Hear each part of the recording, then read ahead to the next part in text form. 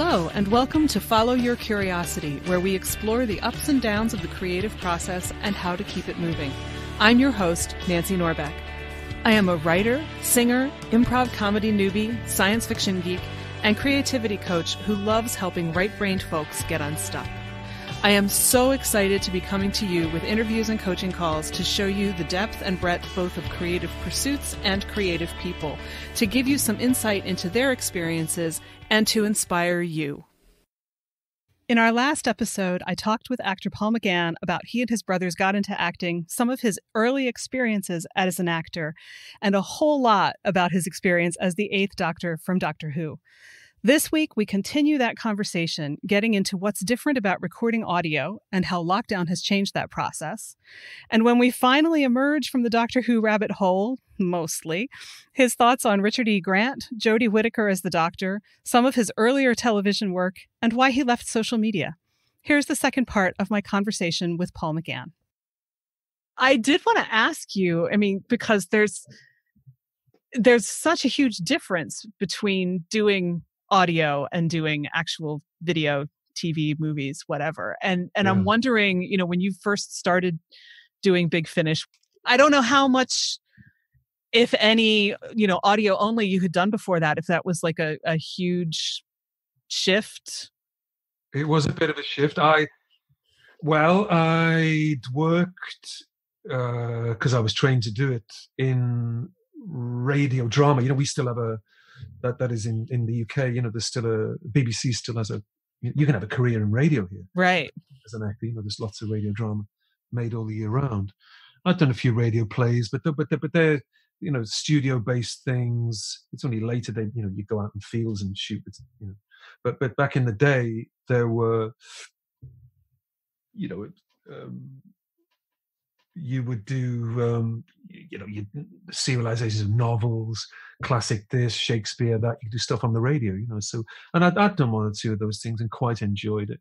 Uh, it was quite strict actually an old it still is it's rather it's rather an old fashioned no bad thing for that it's rather an old fashioned thing to do you know the way the way that radio radio plays are still made here um, and presented and enjoyed and consumed um, uh, but but somehow the audios, first of all, beginning on uh, in the early 2000s and, working on Big Finish, immediately felt like qualitatively different, physically different. Uh, not least, for example, the, the, the, the, Big Finish studio, the main Big Finish studio in London, uh, in West End, is uh, at the Moat House you know where we there you have uh, isolation booths with glass windows in them. Uh, now i'm only saying this because this is how it works. Mm-hmm. um, you know and uh, again this was this this is only this is this only happened because digital recording came in whereas before you in analog you've all got to be in the same room and you know it's like it's a sound stage whereas in whereas once you get digital and you're all on different channels you can be in the same space but so long as you're isolated, you can see each other. This is how we make Big Finish to, to this day.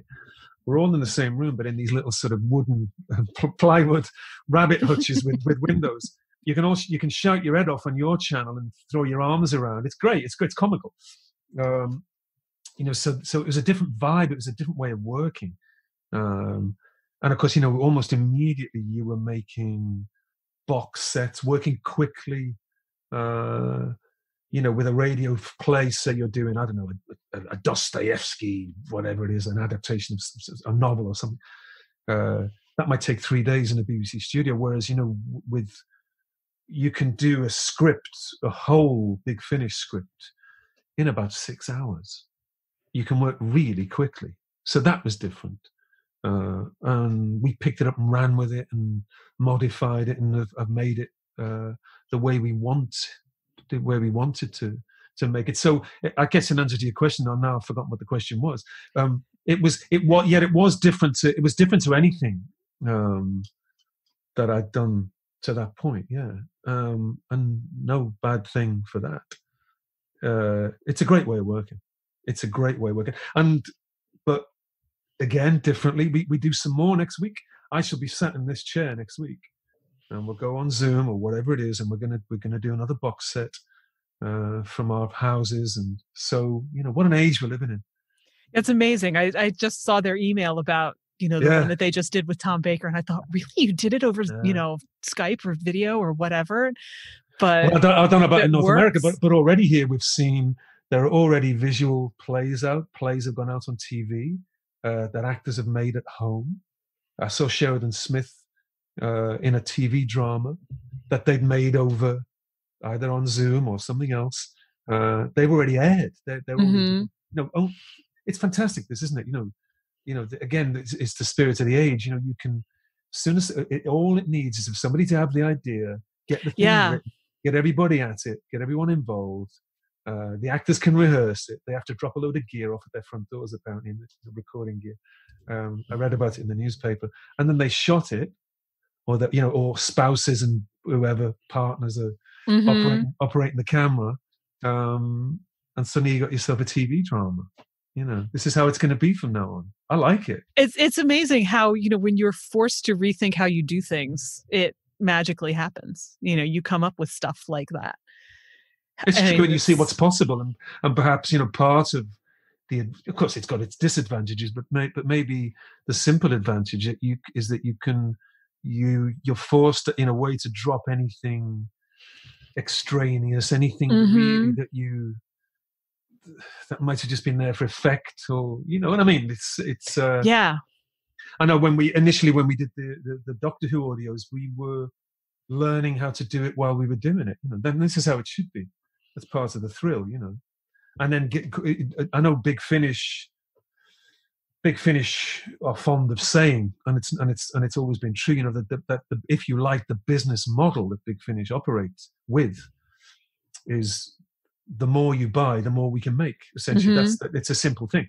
Um, so it's so it's grown its own audience, it's found its audience, and now it's I won't say it's boom time, but it kind of is. You know, uh, particularly since the fiftieth, uh, and people in the United States in their droves suddenly started listening to Big Finish, buying Big Finish, and that's changed everything. And you know, even just seven or eight years ago, we might meet once a year, twice a year max to do to do a bit of Big Finish. Now it's five times a year, four or five, you know, and they're box sets and they're And you we're s- all so grateful to you for it. well, you, but likewise, it, it cuts both ways. But uh, but the thing is, but but in a way, eh, the quality because um, and again, Big Finish would say this, and, and and it's true. You know that that it's it's a circular advantage. It, means, it means that more writers can be invited in, better things can happen, the quality of stuff you know can improve. You know, uh, the audience burgeons. It's fantastic. You know, uh, because the appetite is is insatiable for these kinds of things oh you yeah, know, long may continue. definitely and and i have to say i i sat in on the uh chimes of midnight tweet along listen along whatever they called it Oh, last that week funny. which was a blast um it was a little bit tricky trying to keep up with everything in time to figure out which comment went, went with which moment here and there Yeah, it- but but it's still it's sort of like you catch what you catch and it's and it's all great and you were definitely throwing out just the most hilariously random comments I remember because I was having because because I because I'm not on social media, so I was having, and they said, "Oh, don't worry, you know, we'll, we'll figure out a way." So I was having to text somebody oh who was then yeah, so who was then having to tweet immediately what I texted. So so he- in so so, the, so there was even a delay, I suppose, in that. Um, I can tell you too that it's the first time I've listened all the way through to a big finish audio really ever, because you know when you do stuff, you don't watch You them don't- or listen. yeah. you don't watch them. Why would you want to? right You don't watch. You don't watch them or listen to them. And that's um, that. That literally um, is only when it was over. I thought I've just listened to a big finish in its entirety. Well, that's interesting because Rob Shearman hadn't listened to it or or thought about it much, aside from people like me talking to him about it at conventions in 18 years. So it was very interesting to watch his reaction to things too. Like when he, you know, he'd said early on that he had modeled the house in his head on the one that he lived in, and then Uh. toward the end he said, "Oh my God, I just realized I live in Edward Grove." no way. yeah. I sent him a message afterwards. I said, Good luck sleeping tonight now that you yeah. figured that out. Your sins will find you out.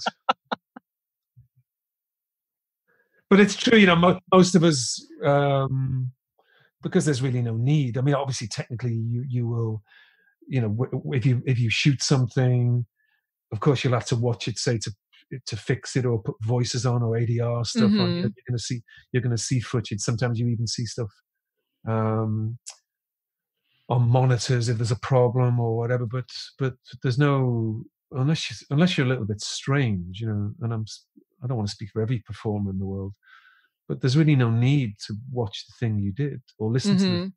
the, thing you made. Um, so it was actually quite. It was kind of great. I think because of the distance, it had been so long.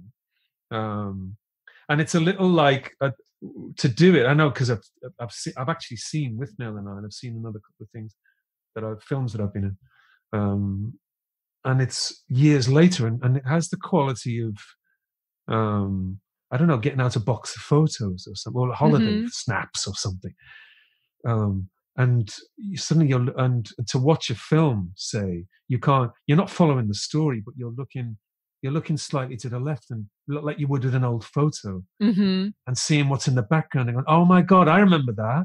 I remember that night we did that and I remember where we were staying. But, you know, so it's all kind of, uh, it's kind yeah, of you have so much more than what's on the screen. Yeah, yeah, yeah. So yeah. it's it's like I say, so initially it's pointless watching stuff because you can't really watch it because uh, you can't follow the story. Um, and anyway, you're in it. So, um, but anyway, it's a long way of saying I, I did. I really enjoyed um, Chimes of Midnight. It was funny. It made me laugh.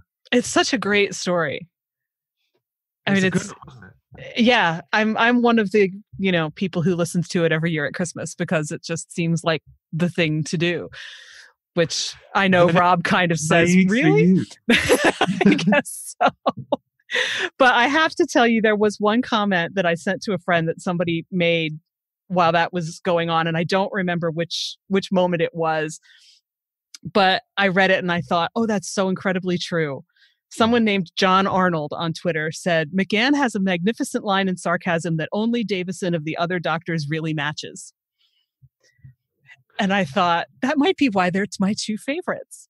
Do you think, did, did now was he talking about what the character in in the audio, or was he talking about the the smarmy sod that was tweeting, or which was he? No, I think he was talking about the audio. Good for him and and I have to say there the line about um I guess I should preface this for people who are not familiar with the chimes of midnight. There are, are servants in this house who keep dying and then they keep coming back to life and they they die in strange ways. And the presumption is always that they've committed suicide even though that's clearly not possible. But when the uh, when the chauffeur dies and they say, "Oh, surely it's suicide," and I don't have the whole line in my head, but you know, yes, obviously he went out, got the car, ran himself over with it, put it back outside.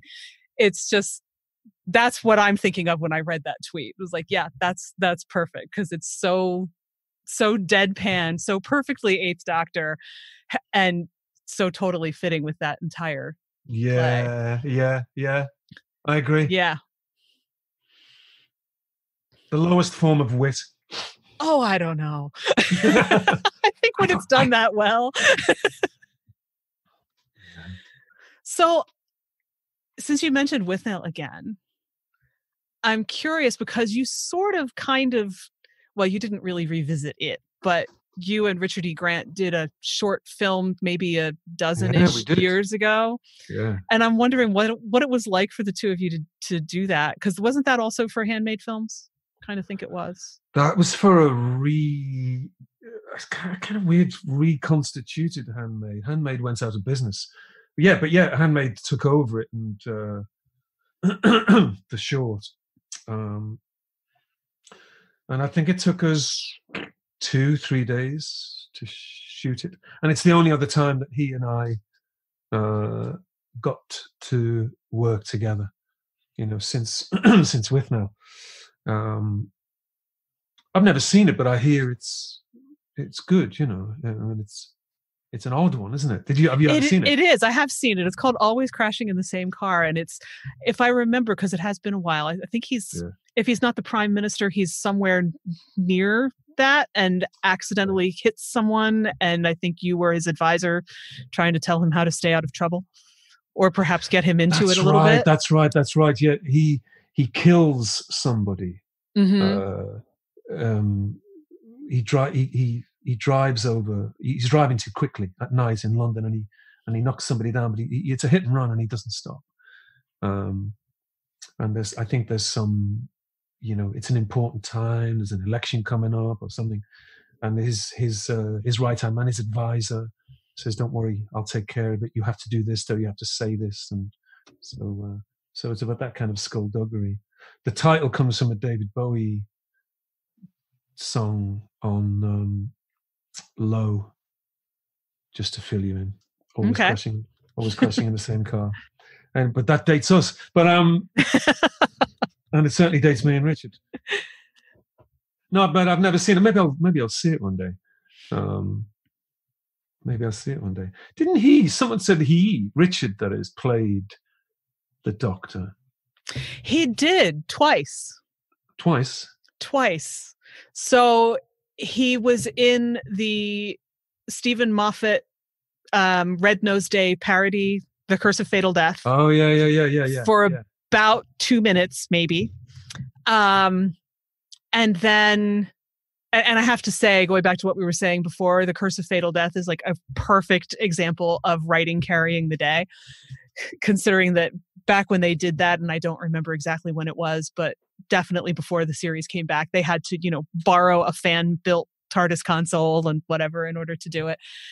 But then he also did the Scream of the Shalka, which I think they it, it was an animated story. Derek Jacobi was in it as the master, but he was sort of like that doctor's companion slash eh, who was a robot Complicated. android yeah I, i'm not really sure where that came from but somehow it seemed to work and i think that they did that around the same time that they did shada at least for the web when they did the animated versions i think they were up together Oh, so it was that long ago. it was a good long while ago yeah 50, about 15 years maybe Mhm. or, or even more. wow wow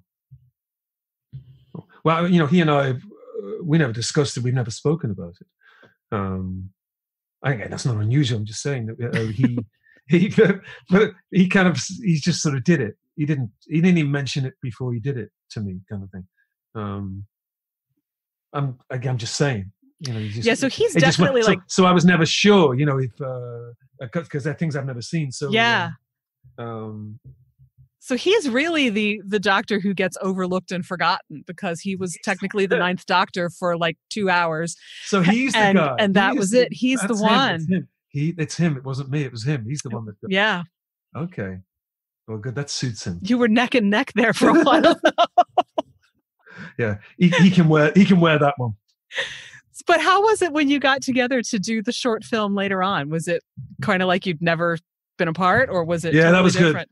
That was good. Um, uh, he. It was intense. You know, the story was intense. It was quick.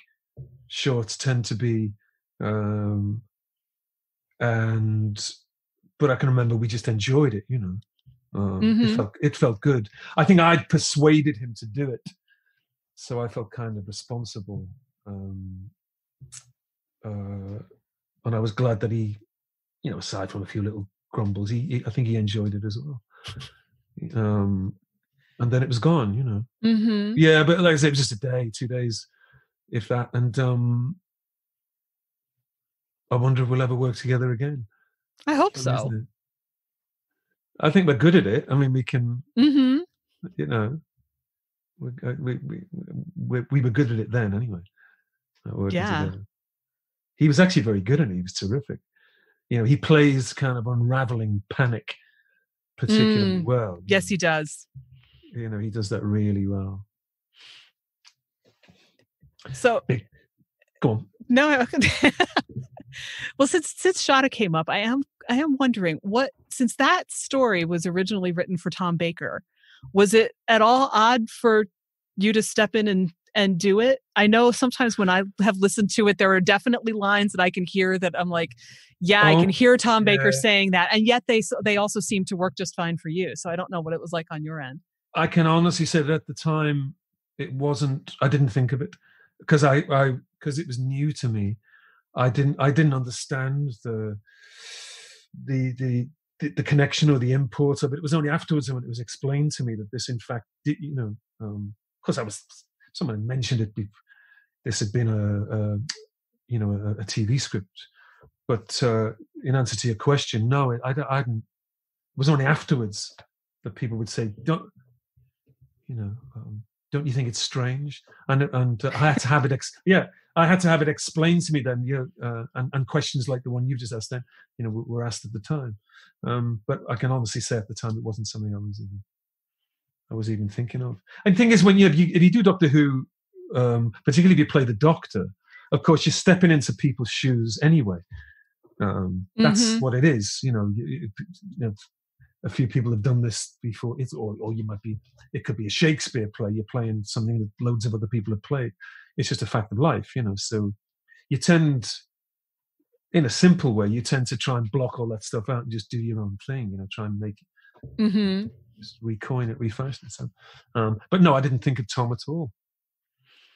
Um, I, I, think it's interesting because afterwards. it is, eh, you know, I mean, it's a Douglas Adams script, which is part of why it's so great. And again, for people who aren't familiar, it was something that it's they started working story. on in the in the 70s, yeah. and then there was a strike, and that was the end yeah. of it. So it was never yeah. never filmed. Though now they've done the animated version that I think may have some of the actual footage from the 70s in it. I'm not sure because really? I haven't seen it. I think so, yeah. But um but in any case, so when they couldn't get Tom to come back for Big Finish, they gave it to you. But I think it's a great example of how, you know, the doctor is still the doctor. Like the doctor has different personality quirks in each regeneration, but fundamentally it's it's still the same character. So it worked beautifully you know they just retooled romana to be president but other than that and when you know again right coming right to the present day what the first when jodie's first episode screened uh, and i sat and watched it um, remembering you know rooting for her. I had no idea what it was obviously what it was going to be like um, but it did make me remember those first few days in vancouver and you know other other people who played the doctors spoke of this you know of, of, similar things. It's like you know you can't help but be nervy because there's a lot of pressure on you you know uh, hmm. again for this reason you, you're stepping into some big shoes. Um, and those elements of characters you know the characterizations that have gone before you um, you know it can be quite a pressure uh, and it's in within five maybe even less fewer um, minutes jodie I looked and just thought, wow, she's cracked it instantly. She's hit the ground running. She seemed, she arrives fully formed. When, I, I guess the point being, when we, when we, when, I know when I did it, Thomas said the same thing. I remember watching um, Matt Smith, even Capaldi, um, who had all that time to think about it. Mm-hmm. It took, I, I, get it took a while. It took, of course, it would. It takes. It seemed to take a little while before the the quality of the writing meets the quality of the act, and then the thing, you know, takes off under mm-hmm. Jodie seemed instantly to be complete. Now that's that's in my view, mm-hmm. and um, has never looked back. she seemed, you know what I mean. I don't know if you agree or not, but but I just thought, oh God, wow, how is she even doing this? She seemed to, to possess and have, and in a way, kind of channel and let you and reveal, you know, elements, fragments of air, all of the things that um, that had gone before, and just completely have it under control and be just be doing her own thing. What a joy! It's know. interesting because the one that made that impression on me was Matt Smith. I think because I was when I first saw a picture of him, I, I will be honest, my initial reaction was, "Oh, you have got to be kidding me." what are you crazy? You know, it's like, like, it's like it's like casting David yeah. Bowie. I mean, you know, Matt's a Matt's a certified alien. You know. Well, yeah, I was like this so, skinny, so skinny twelve year old. What are you thinking? You know, but but by the time the opening credits on his first episode rolled, I was like, okay, I'm in. I'm sold. I'm I'm I'm good. Oh, isn't that funny? Whereas I know? whereas I didn't think that, and I, I thought it, I thought it took him a couple of months. Isn't that funny? But there you go. It's in the eye of the beholder. Yeah. and, and again, this is how it should be. It, you know, I remember thinking. I remember months in, um, thinking about Matt. That's it. That's it. That's it. How? What? And it was almost as if whoever was running it, then it was almost as if they had to catch up with him, rather than well, that could be because he Um, has that energy for sure. yeah but yeah you know so like i say the quality of it and and that's to be expected whereas you know like i say uh i didn't think that at all with jodie i just thought you know that i, I, really enjoyed. I think perhaps because and it helped at least for me i can only talk for myself uh it helped that the episode was set on earth. Hmm um because i kind of enjoy it when the doctor's on earth. I mean i enjoy watching it and listening to it. Hmm um, and there it was, and they were in Sheffield. and, uh, you know what I mean? And, uh, and she was, you know, and, and uh, anyway, it worked. It worked for me. hmm It it really worked for me. Um, there you go. But it's like you say, there we are. It's in the eye of the beholder. Well, and I think really, you know, the the most important thing for that show is that you get the doctor right. You know, everything else can be falling apart at the seams and barely held together with bubblegum and duct tape. But if you have the doctor right, And they have. They have. yeah. Well, and and I think that's what I what I learned from your TV movie. You know, because there were so many things that were kind of like, I don't really know about that bit. And I'm not Mm. sure what this bit's about. But they got the doctor right, and so it's all okay. So- Yeah. So yeah. Yeah, yeah. And well, and do I remember correctly that you were up against one of your brothers for that? Well, when we did the For the doctor. well, back in the day, yeah, was, Yeah. yeah. But he wouldn't have known that, and I wouldn't have known it either. okay. At the time, but it only emerged later. Uh, and I think now even you can somewhere on YouTube. I think you can see the the little um, audition tapes that we. Yeah, I think so. you know. But then we, but but, but then he, we would only have been among scores of actors that were doing the same thing. Um, you know, it wasn't just about us. You know, So there wasn't a rivalry between the two of you. well, we well, well, no, it was actually really unusual uh, in retrospect that he and I might be considered for the same thing. My own theory about that, and only Phil Segal can refute this. Uh, but I've, and I'm not joking. I think both of us were called in because Phil couldn't tell us apart.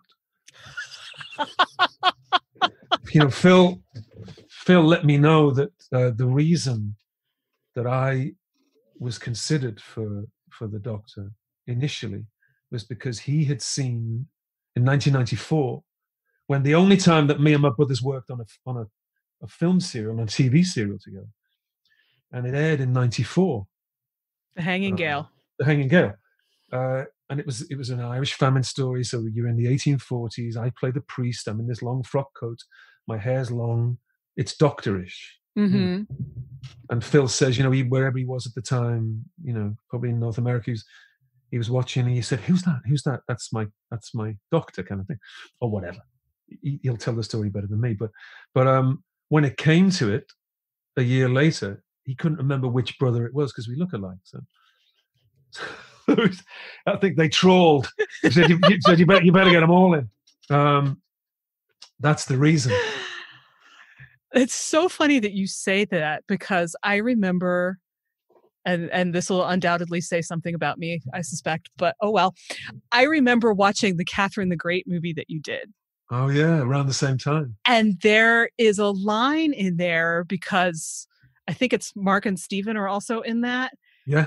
but they're not supposed to be related to your character. But there's this line somewhere in there, and it's been so long since I've seen it that I'm probably completely misremembering, but it's something along the line of, you know, somebody's like, why are they coming after us? And it's like, because you all look the same.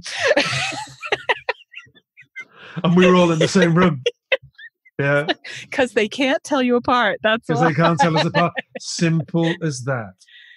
Simple That's as that. fascinating. In fact, we went. I think we went straight that year. We shot that Catherine the Great thing in '94, and we went straight from that to Ireland uh, as I remember, in that spring, uh, and shot the Hanging Gale. So they're they're contemporaneous. They, they, you know, it was the same.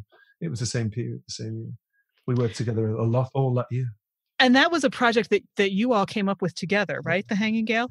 The Hanging Gale was something, yeah, that that uh, my brothers Stephen and Joe had uh, had the idea for. Stephen ended up writing up into a document that eventually the BBC picked up and ran with, and it became this uh, yeah this six hour film serial um, loosely based on the on the story of our own ancestors um, mm-hmm. these these famine Irish um, so yeah so so um, so we got to shoot uh, that for the rest of the year in Ireland uh, and unbeknownst to me like I say somewhere when that went out one Philip Segal is watching them and um, my life was never going to be the same. No. And, uh, yeah, yeah, yeah. But isn't it funny? That's just how things were. Yeah. But but but I know that year there was already. I remember that that time there was already talk uh, every now and again. You know that. Oh, you know they're planning a Doctor Who. You know Doctor Who's not dead at all. You know, and uh, it's going to come back one day. And, and and sometimes you'd hear, well, it's going to be an American. You know, uh, um, whoever. You know, someone's going to do it. Um, or you, you, you know, you'd hear. I remember distinctly hearing, um, you know, Eric Idle is going to be the Doctor, mm. and, and someone would say that, you'd go, oh wow, yeah, oh yeah, oh god, I can yeah, see I can, that. I can see that. Mm-hmm. You know, or Rowan Atkinson, or you go, oh yeah, yeah, oh god, that would make sense. You know, and then you wouldn't hear anything. So, but but that's just normal. This is this is what goes around. You know, and Doctor Who, of course, is something even to this day. You know, it's rumors and rumors and rumors of rumors. Um, most of which never transpire. So, um, but but surprisingly, then suddenly we're getting a call. Whenever that was, 94, um, 95, 95. And there's a real script, you know, and there's a real casting agent. And suddenly, you know, will you come in and, you know, and there it is. Uh, and even when Phil, when it began to solidify like I say, everybody went in. It's just one mm-hmm. of those mm-hmm. things, you know, the stacks of actors. So uh, we all went in, but when when they began to when it began to get serious, and my agents going, actually, you know what, they want they, they want to talk to us now. You know, they want to, uh, you know, they're really you're on the short list, and it's getting serious, and um, and then suddenly it stopped being a lark. I mean, in a, you know, just in in that professional way. Mm-hmm. Um, and I started thinking, really? uh, and, and, and I was quite, I was mystified. Oh, well, I, I was. I, I, thought, well, hang on, whatever, what happened to Eric Idle? What happened to? well, yeah, you know, because why are they coming? Why, why would it be someone like me, right? Who's, who's not a comedian who's not a, not one of those actors like you know Rowan Atkinson, Eric Idle, whoever. These these these brilliant comedians. Um, why are they so? And then I remember then conversation when I first met Phil Segal, I asked him that question he said, "Don't worry about it. Don't worry about it. you know, you know, it's you we want." And I, you know, can I, I was trying to talk him into talking me out of it, or or, or whatever. You know, oh we, wow. It took, yeah, it took weeks and weeks. I couldn't see it. I couldn't see it. I, I was, I didn't. I was nervous about it. well, hang on, how's this going to work? I don't do that kind of thing. You know, isn't it funny? isn't it funny? Yes, you do. yeah, but yeah, and he was. That's what Phil would say. Oh, you do, because uh, I've seen it. And I'm going, well, you know, and so it took weeks and weeks, and, and uh, he wore me down.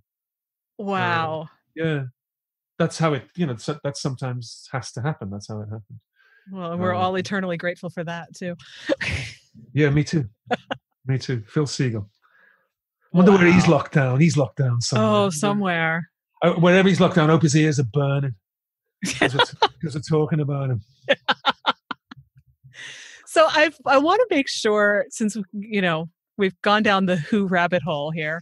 Yeah. But there there are two other things. Um, one that I feel like I should definitely ask you about is the monocled mutineer, uh-huh.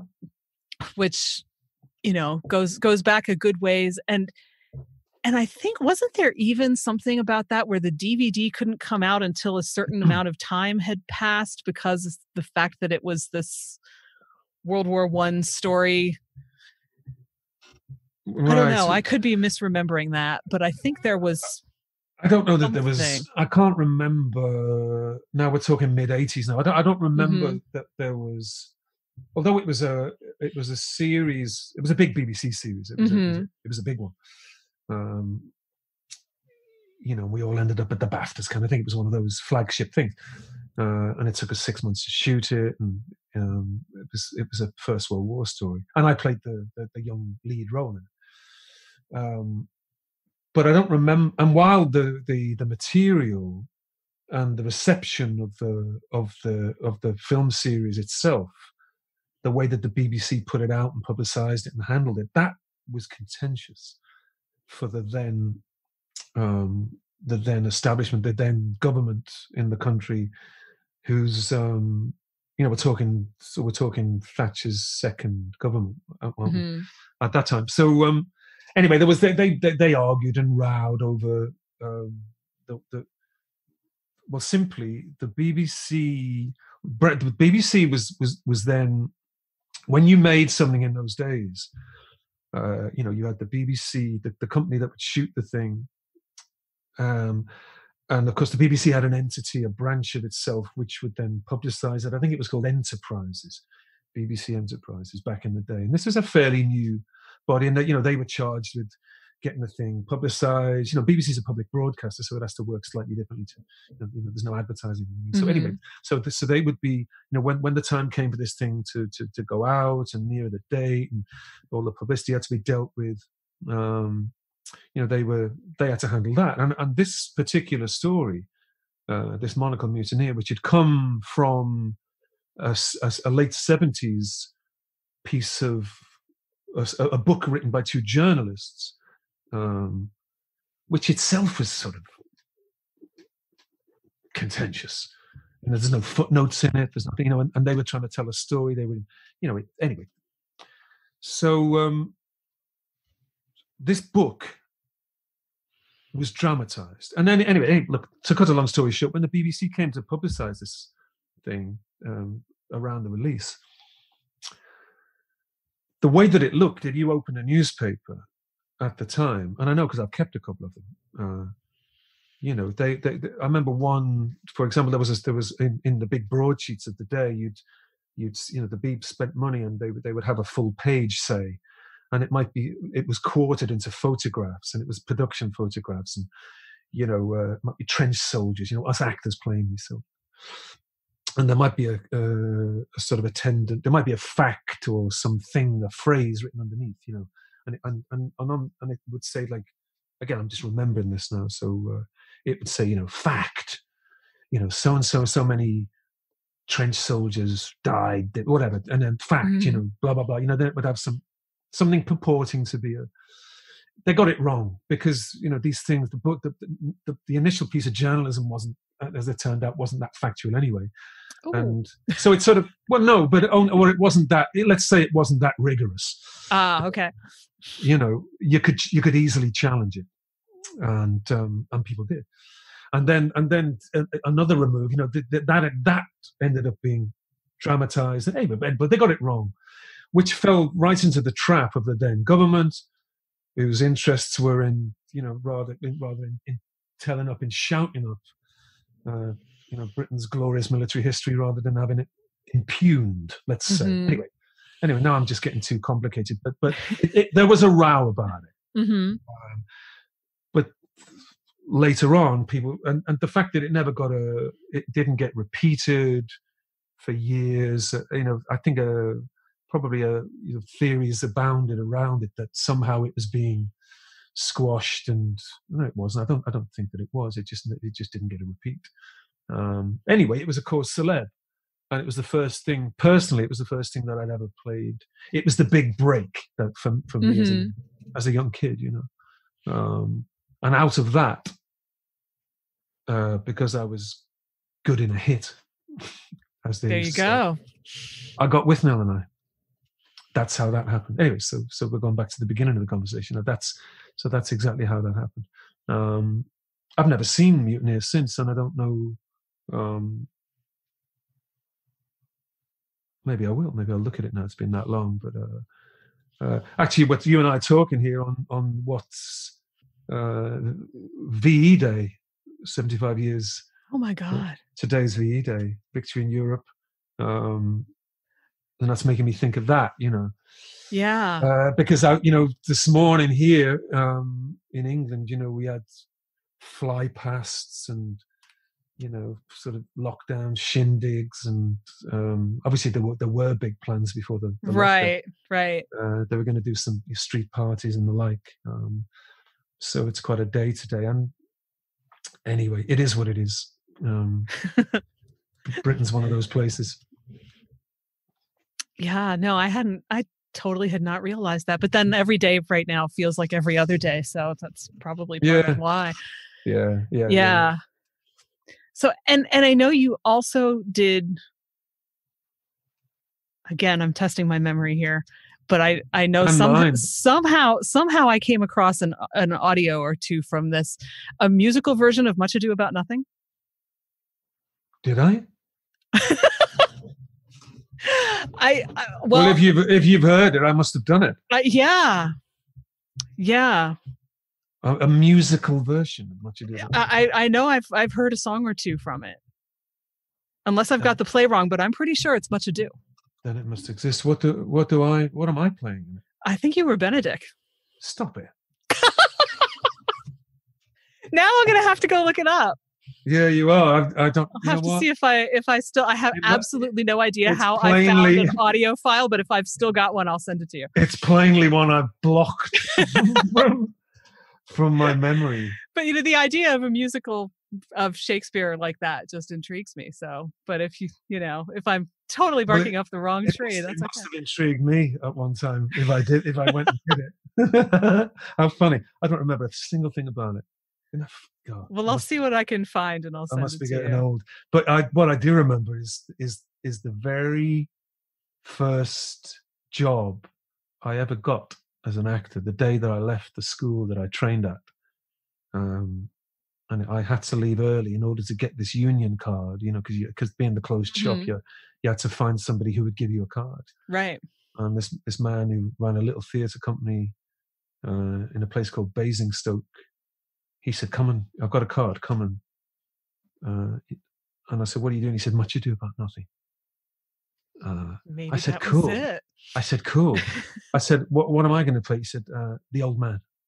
Oh, okay. I was the oldest, Verges, the oldest character in it. I was 20, 21 years old. Wow. Anyway, but uh, but it got me my union card, so I went. I can remember yeah. that.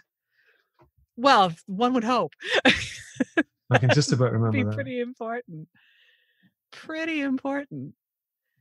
So the other thing that I wanted to mention, especially because I remember you saying in November that that it was if if I'm not misremembering that that um, our mutual friend was your favorite part you've done, Eugene Wrayburn. I think it was, yeah, pound for pound. I think that's the, yeah, uh, yeah. I meant it. Uh, you know, that was of all the things I've done you know, both making it, then seeing a bit of it afterwards. Anyway, look, it was just, it was the, it, it was the happiest time in that way. Um, yeah, it was a close run thing. You know, there's there's been other roles where I've been completely thrilled and happy, um, and it's fitted. You know, you're lucky when that happens. Mm-hmm. But Wrayburn was really something. That's my own personal favorite. Um, just to, to work in that way, to work with, you know, and there's David Bradley. David Bradley, of course, I know was in it with uh, was and, in it all the way through. And David you know, Morrissey and Keeley Hawes. Morrissey, Keeley Hawes, you know, Steve Mackintosh. It was a fantastic time, um, a great company. But like, but that role sometimes roles fit in a way um, that just at that time, at that age, the way that you're working, you're kind of ready for it. Um, you're trusted to do it. It just somehow just all just it happens off the bat. You know, it just works. Yeah, I'm going to try too hard. Um, and even, you know, you might even uh, even down the years, I've, I've, which is really gratifying. You know, people who love the book have said, mm-hmm. "God, you know, when I saw that." You were my idea. That was you. You, I thought I, I, I would worried they were going to mess it up, and then you were just right, you know, and that's a lovely, you know, because that's that ain't going to happen very often, right? Um, either, you know, people love people have ideas about characters in books that they love, and um, I know recently, I know because we just watched all twelve episodes uh, of Sarah Rooney's book Normal People. Do you know this book? You, have you heard of this? You will. No. You will. It's it's the, it's phenomenal. Uh, it's just aired on the BBC in Britain. Uh, I think North America is going to get it. Actually, it's ringing a vague bell, so maybe it's an Irish story. Okay. Uh, uh, young people. Anyway, and this book was a, the, the novel 2017. I think was was a phenomenon. Uh, people love the book. They love the characters.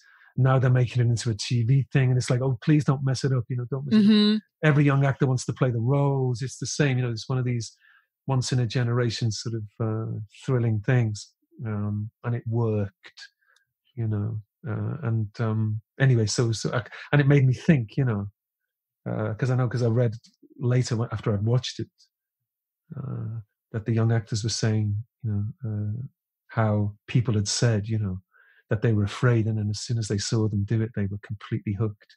You know that they that they were that they were just like the characters in the book. Because people are people get you know, it's not possessive, but you, you in a way, you, we can't help it. We, we yeah. can't help it. When, when you love something in one format, you don't want something in another format to mess it up for that's you. right, and, and it's nearly always when you've read the book. Mm-hmm. You know, because the book, the books, of course, are, you know, by their nature, they can, they, they can, you know, they're a different animal. Well, it's an interior world. You know, you can, you know, which you can do on the page. You know, but when it comes to shoot these things, of course, there's, you know, it's, it's yeah it's a trickier prospect. Um, you know, and, and this, and I know, and of course, Wrayburn in Mutual Friend, the book itself is so big. Mm-hmm. The adaptation, Sandy Welch's adaptation, she said by volume, she said there's only about half of the novel in there. She said you simply couldn't afford to shoot the whole thing. It would take you two years.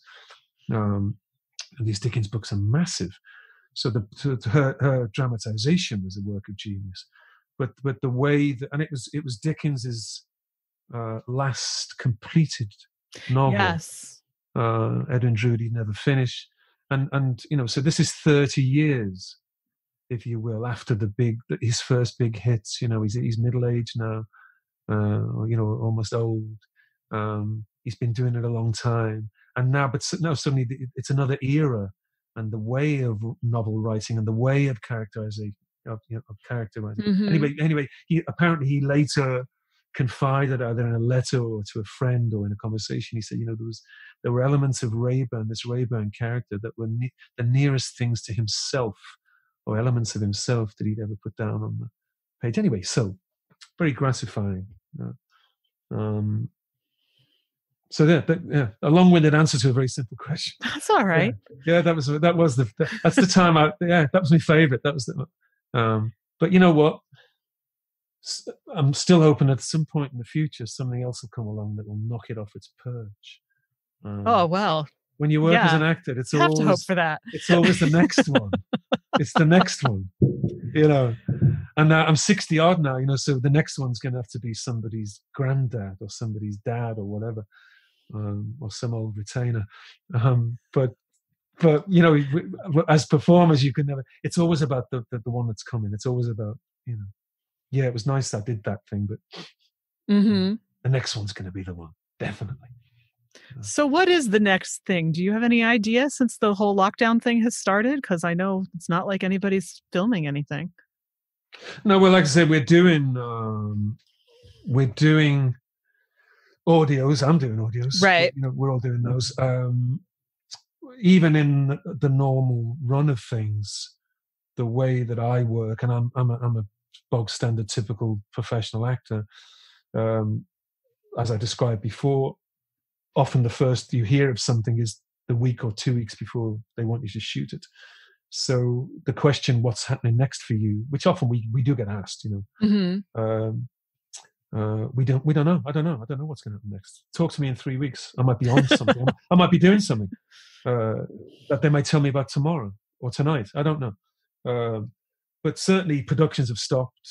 Um, I know that you know Wes also were being asked to self tape for things. So notionally anyway, things you know, obviously the film companies are looking to pick up again in the in the autumn.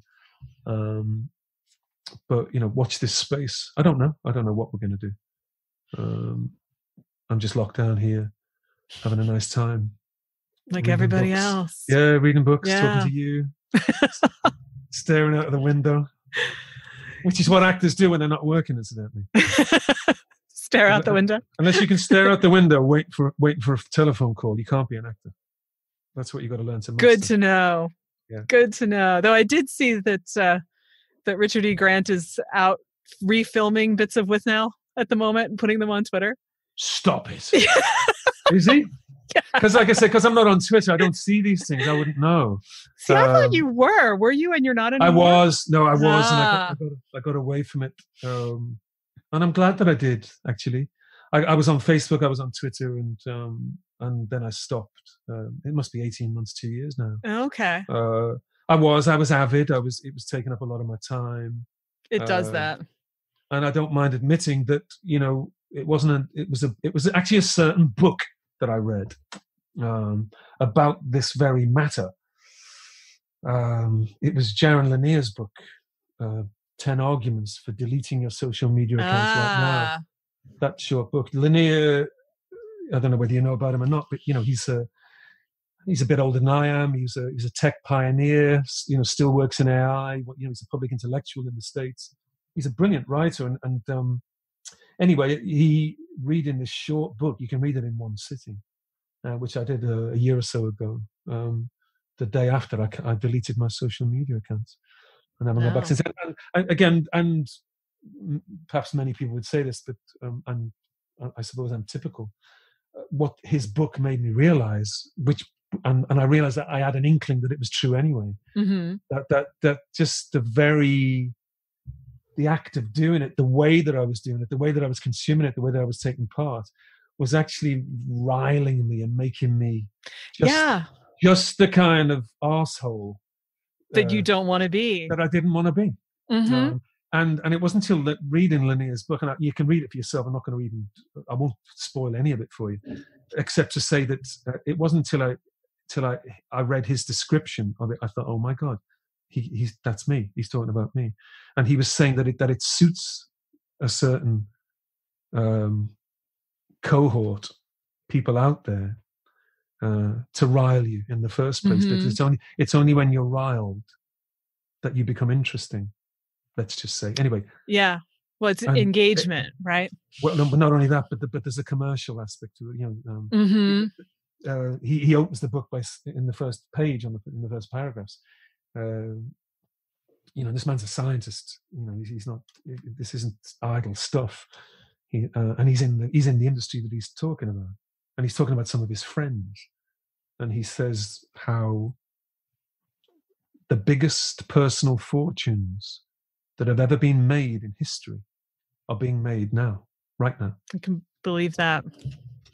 that's how he begins it and and these fortunes are being mined and made uh, on and Off said, of all of us. let, let me tell you how anyway so he, he persuaded me he got me away from it and i um and yet you know my family uh still do it and enjoy it but they don't seem to to to do it in the way that i was doing it they don't seem to it, it's not it's not pulling at that same thread i i plainly shouldn't have been doing it um i miss it sometimes i miss the kind of you know i miss the information and i never know what Mhm. like like like, like I I wouldn't know what Granty's doing because I'm not on Twitter. Well, I I've you know. got uh, there have been a couple of little news stories, so I'll I'll send you a link because yeah, Yeah. there's there's the bit in the phone booth, and he's got you know one where there's a cow in the background and the cow wants to go down. Yeah, Well, bless and him. he it's good. inevitably cracks up at the end of them. It's hysterical. Well, that's great to hear. Maybe I'll get one of my kids to show me one of them. Uh, but that's good. That's good to hear he's doing that. That's generous of him, anyway. Yeah, well, I think you know everybody is kind of doing their own thing to amuse themselves and try to amuse other people right now. But Yeah. he's out there having. He is. He.